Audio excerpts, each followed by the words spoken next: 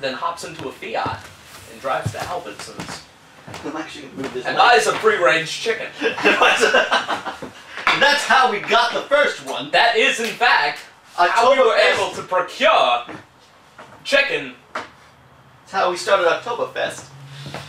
Hence the chicken dance.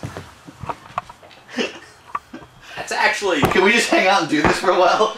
Two Chris's being Christopher. It's actually where it originated. The year was 1978.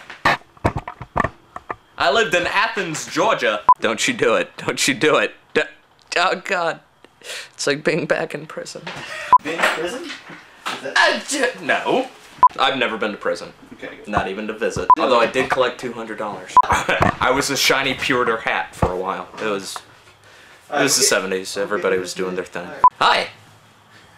I keep wanting to do Christopher Walken. No, no, I'm not gonna keep doing Christopher. No, no. He and I are on bad terms right now. There's some money involved. There might be a woman. It, it is what it is.